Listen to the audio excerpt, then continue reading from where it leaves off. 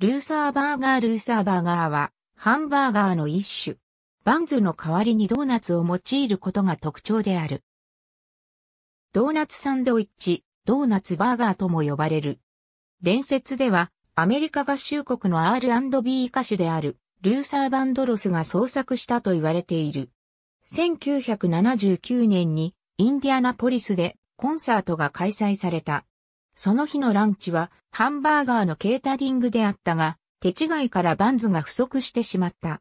ルーサーは、朝食の残りであったドーナツを半分にスライスし、バーガーを挟んで食べ始めた。他のツアーメンバーが何を食べてるのか尋ねたところ、ルーサーは、ルーサーバーガーさと答えた。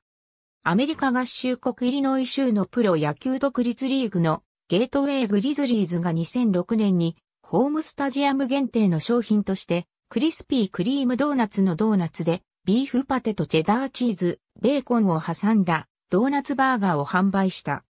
2009年にマサチューセッツで開催されたイベントで同様のドーナツバーガー、クレーズ、イーバーガーが販売され、イベント期間17日間に1日あたり約1000個の売り上げを記録している。なお、クレーズ、E バーガー1個あたりのカロリーは約1500キロカロリーである。ありがとうございます。